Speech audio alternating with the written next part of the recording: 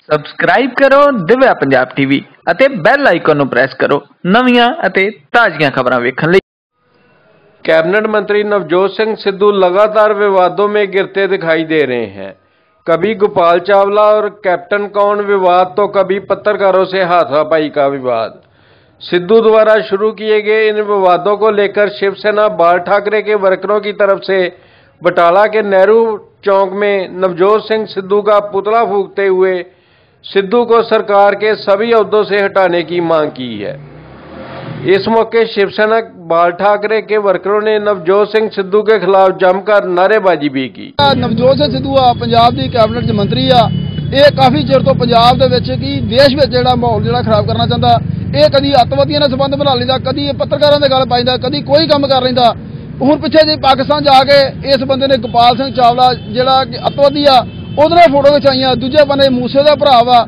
ਉਹਦੇ ਨਾਲ ਵੀ ਇਹਨੇ ਫੋਟੋ ਖਿਚਾਈਆਂ। ਹੁਣ ਜੇ ਪੱਤਰ- ਪੱਤਰਕਾਰਾਂ ਨੇ ਸਵਾਲ ਪੁੱਛਿਆ ਤੇ ਇਹ ਉਦੈਪੁਰ ਜੈਪੁਰ ਵਿੱਚ ਜਾ ਕੇ ਵੀ ਪੱਤਰਕਾਰਾਂ ਦੇ ਗੱਲ ਪੈ ਗਿਆ। ਇਹ ਜਿਹੜਾ ਬੰਦਾ ਵਾ, ਆਪਣਾ ਦਿਮਾਗੀ ਸੰਤੁਲਨ ਖੋ ਬੈਠਾ ਵਾ।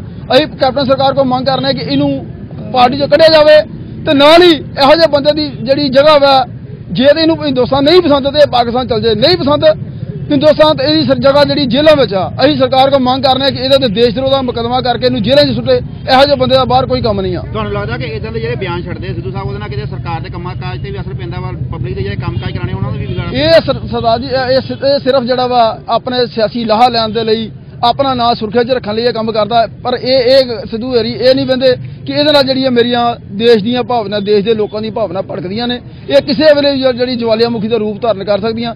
ਮੈਂ ਰਮੇਸ਼ ਮਾਇਨ ਸ਼ਿਵ ਬਾਲ ਠਾਕਰੇ ਉद्धਵ ਸਾਹਿਬ ਠਾਕਰੇ ਦੇ ਨਿਰਦੇਸ਼ਾਂ ਦੇ ਮੁਤਾਬਕ ਅੱਜ ਜੋ ਸਾਨੂੰ ਆਦੇਸ਼ ਆਏ ਸੀ ਕਿ ਪੰਜਾਬ ਦੇ ਅੰਦਰ ਜੋ ਅੱਗ ਲਾਉਣ ਦਾ ਕੰਮ ਕੀਤਾ ਜਾ ਰਿਹਾ, ਜੋ ਨਵਜੋਤ ਸਿੰਘ ਸਿੱਧੂ ਬਾਰ-ਬਾਰ ਪਾਕਿਸਤਾਨ ਜਾ ਕੇ ਪਾਕਿਸਤਾਨੀਆਂ ਨਾਲ ਜੱਫੀਆਂ ਪਾਉਂਦਾ ਕਦੇ ਬਾਜਵਾ ਬਾਜਵੇ ਨਾ ਪਾਉਂਦਾ, ਕਿਤੇ ਇਹਨੇ ਜਾ ਕੇ ਗੋਪਾਲ ਚਾਵਲੇ ਨਾਲ ਹੱਥ ਮਿਲਾਏ ਨੇ, ਇਹ ਕੀ ਚਾਹੁੰਦਾ ਵਾ ਕਿ ਪੰਜਾਬ ਦੇ ਮਾਹੌਲ ਖਰਾਬ ਕੀਤੇ ਜਾਣ? ਕੀ ਇਹਨੂੰ ਹਿੰਦੂ ਸਿੱਖ ਦਾ ਖੂਨ ਖੂਨ ਨਹੀਂ ਦੇਤਾ? ਕੀ ਇਹਨੂੰ ਮੁਸਲਮਾਨਾਂ ਦਾ ਖੂਨ ਖੂਨ ਦੇਤਾ ਹੈ? ਪੰਜਾਬ ਸਰਕਾਰ ਕੋਲੋਂ ਮੰਗ ਕਰਦੇ ਆ ਕਿ ਸਿੱਧੂ ਵਰਗੇ ਬੰਦੇ ਨੂੰ ਪਾਗਲਖਾਨੇ ਭੇਜਿਆ ਜਾਵੇ।